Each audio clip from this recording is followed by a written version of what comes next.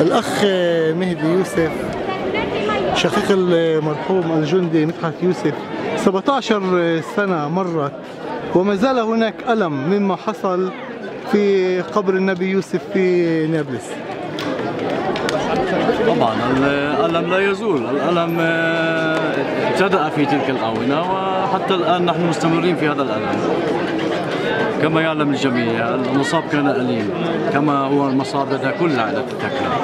ولكن في هذه النقطة يوجد ما يقال في قضية التواطؤ في عملية إسعاف أخي. نعم. كان بالإمكان فعل ذلك ولم يفعل. وحتى اليوم لم تقم هنالك جهة معينة إن كان من الجهة الأمنية أو الجهة العسكرية وتأخذ آه، قسطا ولو وفيرا ولو قليلا آسف في قضية آه، توضيح الحقيقة. لماذا لم يتم إخلاء سبيل أخي أو إسعافه في مستشفى على سبيل المثال نعم. هذا الشيء يغضبنا. حتى الآن نحن ما نزال في نفس الموقف. يعني لكي يفهم الناس عن ماذا نتحدث آه، ارجع بنا إلى الوراء إلى 1 10 سنة ال 2000 ما الذي حصل؟ نعم في 1 10 سنة 2000 آه، آه، أصيب أخي بعيار نا- ناري من قبل الجانب الفلسطيني في قبر يوسف في نابلس بحيث نزف دما ولم يستطيع أن آه، يعالجه أي أي شخص كان. كان هنالك طبعا مضمدين من ال- من الجيش ولكن لم يكن باستطاعتهم فعل المقدور عليه بل كان يجب أن يكون هذا الفعل في مستشفى. نزف. لمدة ثلاث ساعات على ما أذكر. آه، وأكثر حتى. آه، نزف حتى النقطة الأخيرة حتى قطرة الدم الأخيرة وتوفي اثر ذلك نعم مهدي يعني سؤال محرج بعض الشيء ولكن الكثير يتساءلون الطائفة المعروفية معروف عنها الإيمان بالقضاء والقدر وقل لن يصيبنا إلا ما كتب الله لنا. هو مولانا وعلى الله فليتوكل المؤمنون.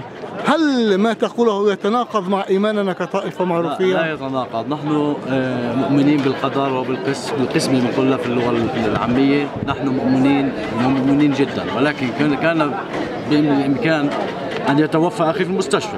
نعم.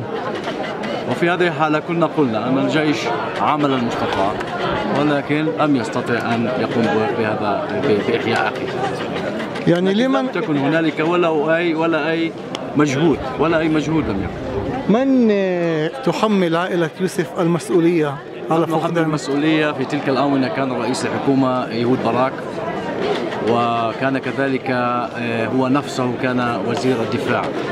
نعم. وكان باستطاعته أن آه، يحزم في الأمر ويقول لدينا جندي آه، مصاب ويجب أن نسعفه وبكل طريقة. يعني مهدي هنا المصاب بجلل كما يقولون والألم مضاعف. حدثنا عن شعوركم كعائلة في مثل هذا اليوم.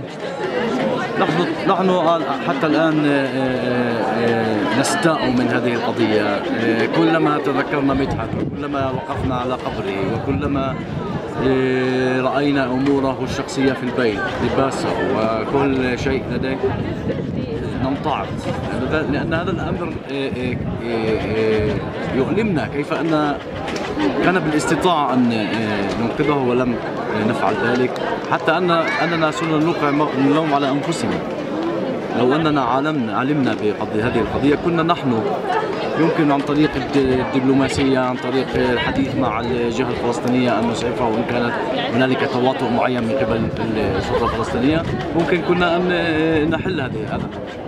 يعني لو آه، دائما يقال آه، لو. لو طبيعي. ولكن ما هذه الكلمة ماذا تعني لك؟ عن- عندما حدث ما حدث؟ لو ماذا؟ لو دخل الجيش لو ماذا كنت تتمنى أن يحصل كنت أتمنى أن أن تتم عملية إنقاذه من قبل الجنود أو الضباط الذين أرسلوه إلى المهمة. هذه المهمة التي أرسل إليها كان من ورائه من بعثه من أرسله. يعني مهدي وهذا ما يعلمونه في الجيش نعم ولك آه، مجرد التفكير بأن شقيقك نزف لمدة ثلاث ساعات.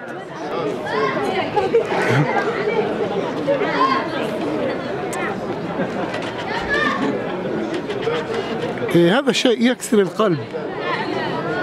أنا حينما أشعر بذلك أنا أضع نفسي أمام مكان أخي.